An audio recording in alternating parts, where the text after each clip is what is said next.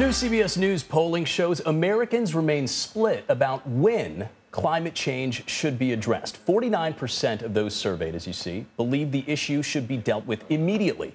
19% say in the next few years, while 18% responded not at all. The Amazon rainforest in Brazil is one of the sites at the center of the climate change debate. Research shows 17% of the world's largest rainforest has been destroyed in the last 50 years. 17%. Scientists warn a road project in the region is accelerating that pace of deforestation. Now, Terrence McCoy is the Washington Post's Rio de Janeiro bureau chief. He recently traveled across Highway 319, which uh, sort of carves a path through the rainforest, as he'll tell us. And he's here to show us what he saw. Uh, Terrence, first, I, I guess just help us paint a picture of what you saw and what you and your team observed is at risk. I mean, the, the Amazon forest itself is at risk, according to scientists. Um, we traveled down this highway, it's called BR 319 Highway, and it carves a path straight through what is the heart of the Amazon. And the Amazon, as we were said a moment ago, 17% of it has been chewed up by deforestation. Uh, but that 17% of it has mostly been focused around the rim of it, almost forming a border around the edges of the Amazon, what's known as the arc of deforestation. What's different about this highway, however, is that it will carve a path right through the heart of the Amazon, which is one of the last bastions of contiguous forest in the Amazon.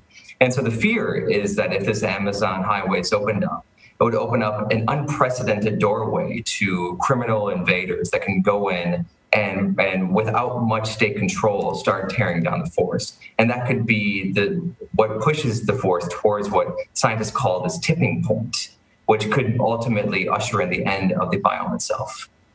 Terrence, I believe you said about 17% of the Amazon rainforest is, is experiencing deforestation. What are the implications that this could have on the rest of the world?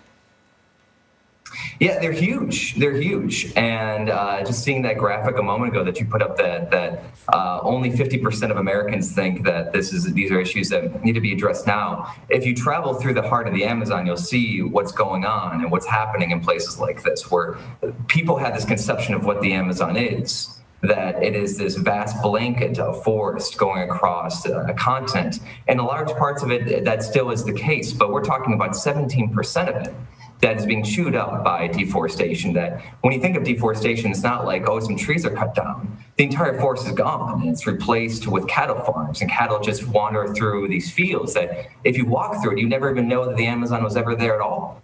Um, it doesn't look like the Amazon in any way. So this is an issue that is accelerating, uh, has already pushed the forest to what people think could be this tipping point. And scientists say it's something that needs to be taken care of and, and slowed now. Uh, there's no time to wait. Yeah, many people saying that Brazil has a responsibility, not just to Brazilians, but to the rest of the world, considering the global implications here.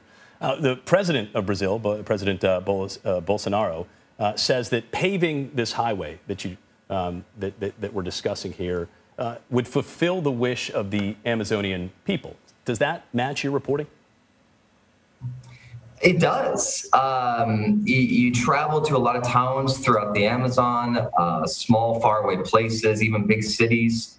Uh, the reality is that there's a lot of regions of the Amazon that don't really have much development, that the road system is, is extremely complicated, that uh, during the rainy season, people get marooned out there because the roads are so bad.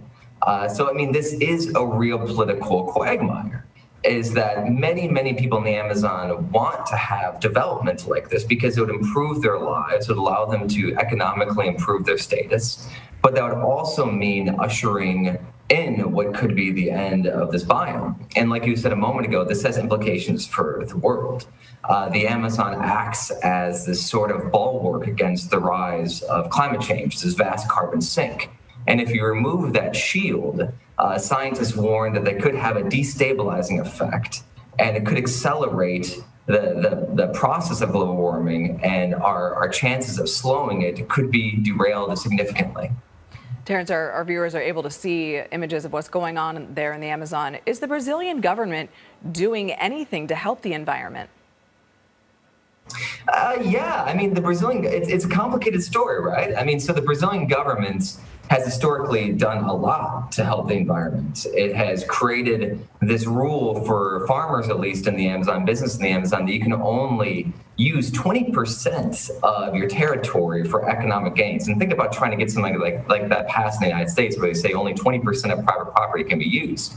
But this is historically, Brazil has performed a, a, great role in preserving the Amazon. What's at stake now, though, however, is that uh, the, the, Bolsonaro administration, which is very pro-development, very pro-business when it comes to the Amazon, has has done a lot to significantly slow down and derail even a lot of environmental enforcement, whether that is defunding agencies that have been instrumental in, in, in uh, derailing deforestment um, or, or just slashing the number of people who are working in the arena.